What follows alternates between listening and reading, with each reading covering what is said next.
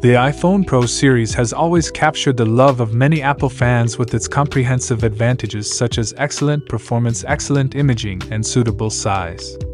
The iPhone 16 Pro is equipped with an A18 Pro chip. The screen size has increased from 6.1 inches in the previous generation to 6.3 inches. The frame is titanium. The version we got has a storage capacity of 128 gigabytes. Open the box.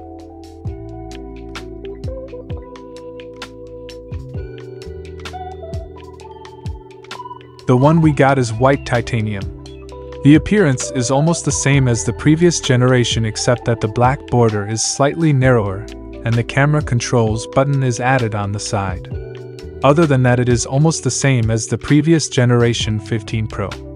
The camera controls button can realize various functions such as exposure depth, zoom, cameras, styles, tone, etc. through different gestures such as tap, long press, double click, and slide.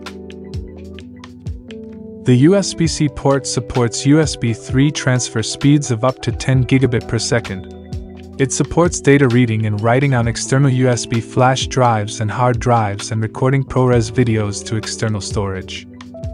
The length of the included USB C cable is exactly 1 meter. ChargerLab POWER-Z KM003C shows it doesn't have an eMarker chip.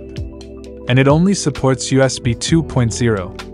If you want to experience external USB flash drives or monitors, you need to replace the cables with higher specifications.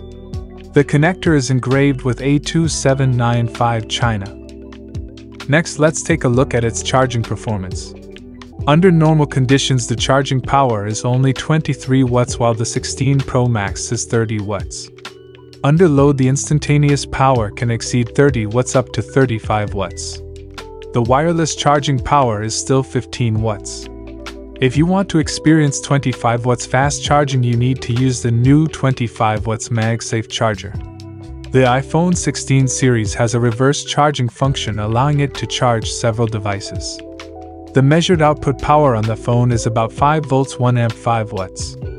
Next is the charging compatibility test iPhone 16 Pro supports PD fast charging and can be charged at 18 watts and above. However, the normal power is between 23 and 24 watts. Whether it is an Apple charger or a third party charger, the performance is relatively consistent and there is no compatibility issue. The power of 30 watts can meet daily charging needs. Next, we'll use the Apple 35 watts charger to fully charge the iPhone 16 Pro and put them into a 25 degrees Celsius thermotank throughout the test.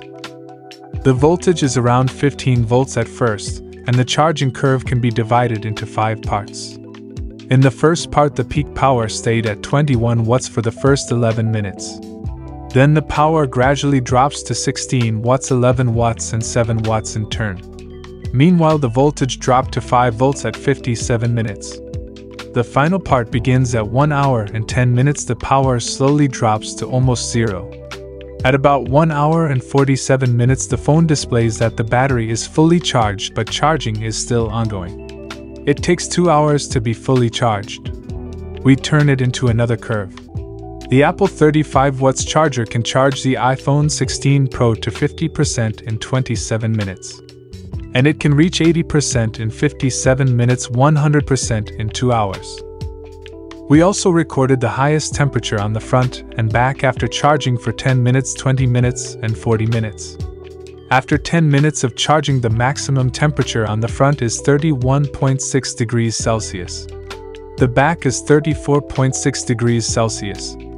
After 20 minutes, the maximum temperature on the front is 32 degrees Celsius and the back is 33.8 degrees Celsius, you can see that except for the upper and lower ends, the temperature of the entire back panel is uniform. After 40 minutes, the maximum temperature on the front drops to 31 degrees Celsius. The back is 31.9 degrees Celsius. From this bar graph, the overall temperature of the phone is between 31 and 34.6 degrees Celsius during the 40 minute charging process. The highest temperature is about 34.6 degrees Celsius on the back at 10 minutes. At this time, the charging power is about 21 watts. The temperature drops by about 2 degrees Celsius within 20 to 40 minutes. When collecting data at a fixed point, I didn't feel any noticeable heat when touching the phone with my hand. The heat dissipation performance is definitely an improvement compared to the previous generation. Well, that would be all the tests for the iPhone 16 Pro. In general, the configuration of the iPhone 16 Pro and Pro Max is almost the same. It's just that it has a relatively small size and a moderate screen size, which can not only meet the user's demand for a large screen but also maintain good one handed operation convenience. Okay, that's all for today's video. Please drop a like, leave your comments, and subscribe to us. See you next time. Bye.